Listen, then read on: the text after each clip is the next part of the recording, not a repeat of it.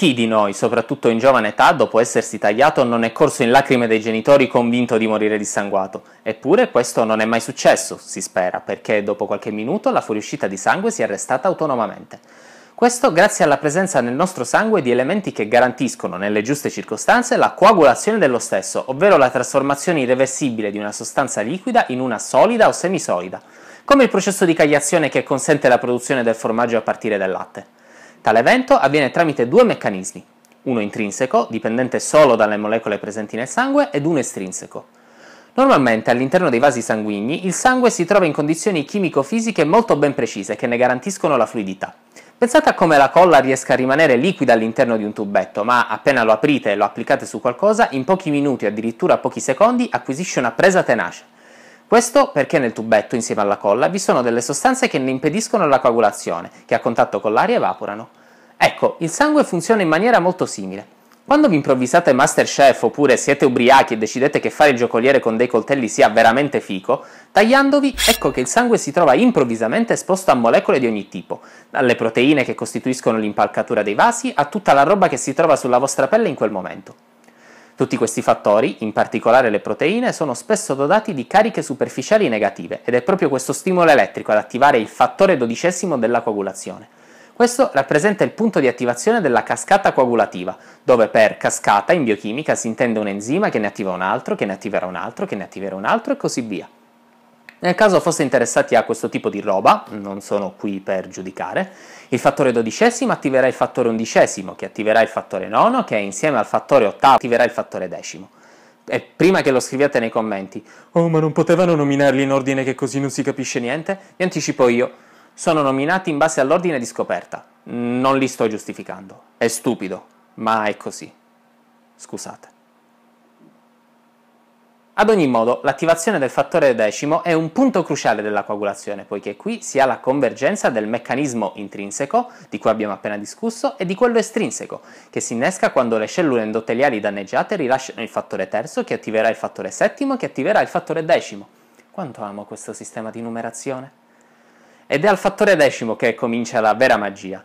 Tale fattore infatti attiverà il fattore secondo, chiamato anche protrombina, che diventerà trombina quando attivato. Questo a sua volta determinerà l'attivazione non di un enzima, bensì di una particolare molecola, il fibrinogeno o fattore primo. Tale proteina è costituita da due unità tripeptidiche formate dalle catene alfa, beta e gamma, in una struttura similtriangolare.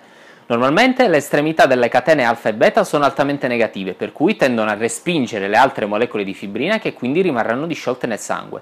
La trombina invece interverrà tagliando o clivando, se preferite, queste porzioni alfa e beta, per cui improvvisamente le molecole di fibrina cominciano a polimerizzare, ovvero ad unirsi in una massa che inizialmente prende il nome di coagulo morbido, ma che con l'intervento del fattore tredicesimo si stabilizza diventando un coagulo stabilizzato.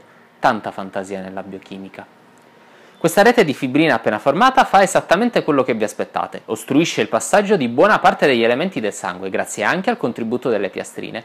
Queste non cellule, poiché sono solo dei frammenti cellulari, quando esposte alla trobina formano delle propagini dette pseupodi sulla loro membrana, che le porta ad impigliarsi sulla rete di fibrina bloccando il passaggio di cellule più grandi. Non saranno però in grado di arrestare completamente la parte liquida del sangue, denominata ora siero, e sarà quella sostanza giallognola che potete osservare quando spremete una ferita coagulata, nel caso avreste voglia di farlo. In questa fase si avrà quindi la retrazione del coagulo, che servirà ad aumentarne l'adesione ai tessuti lesionati e garantire il contatto tra questi in modo da favorire il processo di guarigione. Come tutte le cose belle però, anche questa deve avere una fine, che si presenta nella forma della fibrinolisi, questa avviene tramite una proteina denominata plasminogeno o plasmina quando attivata ad esempio da fattori tissutali rilasciati dalle cellule. Essa agisce su più livelli.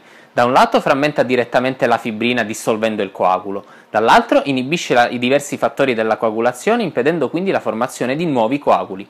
La frammentazione della fibrina, in particolare, porta alla formazione di una particolare proteina detta didimero, Poiché tale proteina si forma solo in questa occasione, è molto usata in clinica quando si devono cercare eventi coagulativi recenti, ad esempio fenomeni trombotici di diversa natura.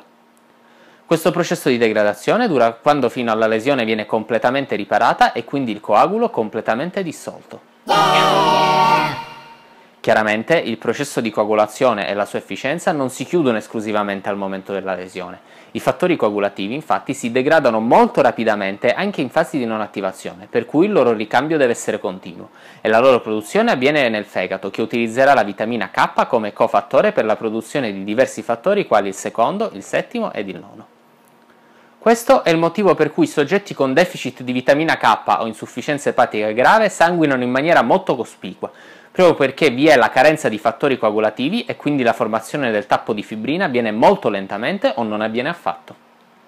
E anche per oggi abbiamo concluso, spero sia stato istruttivo e di vostro gradimento. In caso affermativo mettete mi piace ed iscrivetevi al canale, questo mi dice che sto facendo un buon lavoro.